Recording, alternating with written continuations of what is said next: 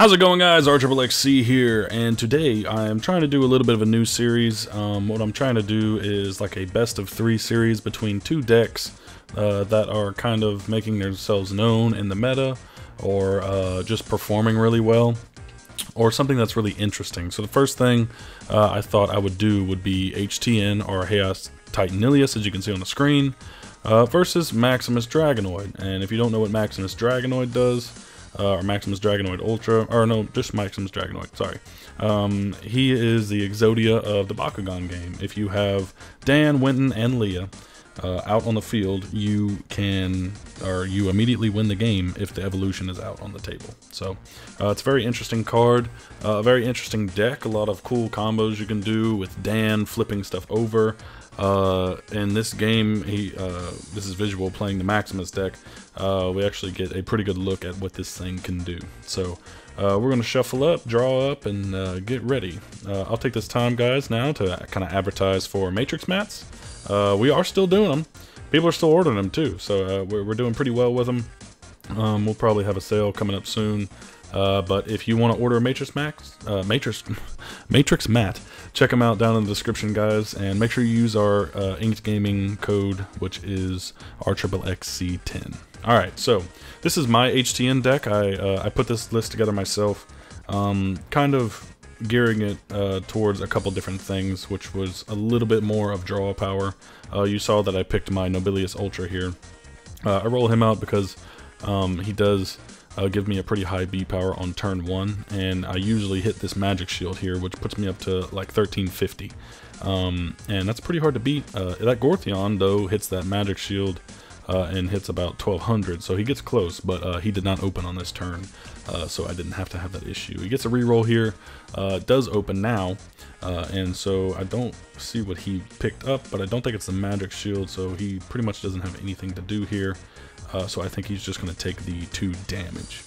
Nobilious Ultra is a pretty decent Bakugan. I do enjoy using it a lot. A thing to note about him is that if you roll him backwards, you have a pretty high chance of picking up two cores. Uh, I play Sifting Ashes here. Again, this deck's a little more geared towards draw power, uh, wanting to make sure that I get my Titan Nillious out when I need it. Um, that's kind of the the, the main point here. Uh, if I have super fuel in my hand, uh, I want to be able to get that thing out there on turn two. Uh, if not, I definitely want to have it in my hand by turn four so I can use it. Um, by that time, I should be on my Nillious uh, to roll anyway.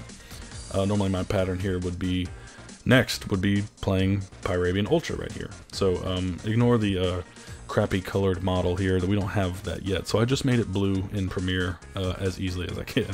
Uh, but he does a cool flip here and we both open. So we have a good little brawl right here. When I hit that magic shield on Pyravian Ultra, I do get up to about 10,000 or 1050, I think. Um, but he plays, he plays Air Zero and gets his Wynton out. So um, he's one step closer to Maximus, uh, but he does lose this fight, so he does take two damage right here. Uh, but he's ahead now, kind of, uh, in his in his sense, because he's trying to get Maximus out uh, and, you know, do the end game, or the obliteration. Um, so I've taken him down for damage. I'm feeling okay. Uh, I see that I have my Nillious in my hand, uh, so I'm ready to go.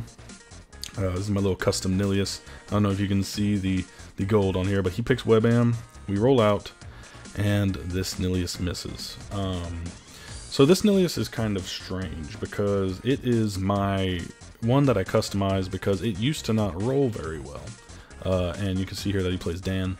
Uh, that will come in handy for him a lot later. Uh, anyway, the Nillious that I was picking, uh, or the Nillious that I'm using here, uh, actually has the ability to pick up two cores. And he's done it a lot. Um, uh, I think you see it in a later video in this series. Uh, this is just going to be game one in this video. I'm going to put out uh, the next two games um, as we go along here. So, uh, I play Fading Dash in this deck. Uh, again, I want to draw cards, and rolling up my Nobilious is not a bad thing here. Uh, he does get to 1350 pretty much every time I use him, so he's not a bad Bakugan to have and ready to go. He does only do like 2 damage, but if I land on the red shield, red fist, I, I, do get a little damage boost there. Um, so, he's got Titan Dragonoid coming out. I have my Nillious. I'm hoping to land this turn and open, but that does not seem to happen here. it's kind of annoying. Um, I get a bad luck here, and then the more bad luck comes because this Maximus comes out on the Dan trigger. Um, so now he has a 2500 B power 10 attack monster on his field. That's the thing about Maximus Dragonoid, guys, is that it is not just a threat because it can instantly win the game, it's also a threat because it is a huge thing to deal with. It is not an easy Bakugan to fight with. Um, so I did not open here, so I'm in a little bit of trouble. Uh, I'm trying to think about my options, uh, but I know that I want to be able to play stuff next turn in case I have to fight something big. Um, so I go ahead and throw my Titan Nillious down and take my damage. Um,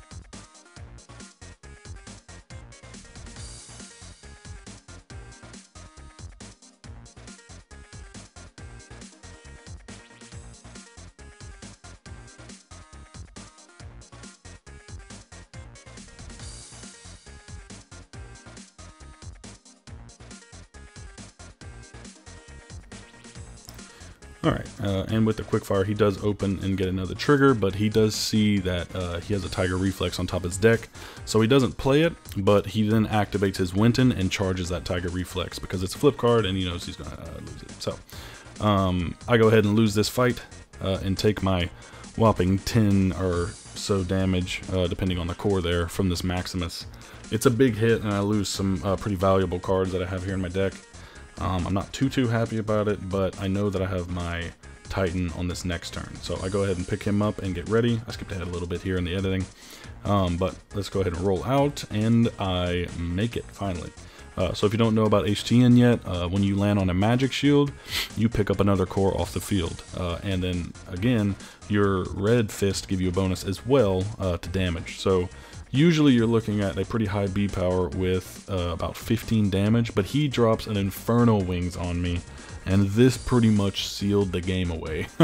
um, let alone the fact that he was using Wynton and Dan pretty well, um, and getting lucky. Uh, so uh, I feel pretty bad about it right now, but I have a little bit of a play that I think is going to help me. Um, my idea is that I get rid of this Maximus by playing Wayne uh, which lets you discard a card that was, or an Evo that was played not this turn. So I get rid of that Maximus. Um, and then since I played a card, I can play Wave Slash and get the big boost. So now I'm up to 1800 B power, um, which helps me a lot fighting off against this Gorthion. Or so I thought. Uh, Visual here has other plans for me. Um, he, remember, I just got rid of the Maximus. Um, he plays Spirit Guide, which is a reroll for Chaos, which also adds uh, 400 B power. Um, I think at this point he needed just about 200 B power to get up on me, so at this point I'm already feeling like uh, it's probably not going to work out for me. Um, and he lands sideways on the core, uh, so he does not actually magnetize. Uh, so I was pretty excited. Um, thinking that, oh, okay, I'm about to actually get a pretty decent amount of damage off. I think the base damage on Nillious is 8, but he says, no sir, I have a super fuel. Um, so I'm going to try one more time. He does magnetize. Argorthion's a little wonky. It uh, it doesn't exactly pick up cores every time. So, uh, but he gets the Dan, and he gets his Magnus back. It is so annoying. I was so mad, so angry. You can see me like holding my hands on my face right here.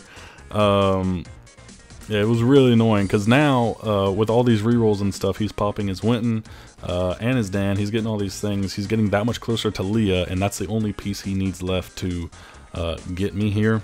Um, but uh, it doesn't really matter because this team attack is actually going to do me in. Uh, I take a lot of damage here uh, and I am not able to survive. Uh, so thank you guys for watching. I hope you liked this. Um, in the next couple of days, you'll see game two of this fight, and then we actually go to game three here. So, um, and for this series, I'm probably just going to do three games per matchup anyway, just so it doesn't spoil the ending. Um, but I do lose this game. But thank you guys for watching. I appreciate y'all sticking around. Uh, and I hope you enjoy the battling content coming to you. As soon as uh, Age of Orlith comes out, we're going to have plenty battles for you guys to watch. Uh, we're just kind of warming ourselves up with that for kind of wrapping up the meta for what we have now before AOA gets here. So thank you guys for watching. Check out Matrix Max down in the description. Like this video, comment, subscribe, and we will see you guys next time. Bye.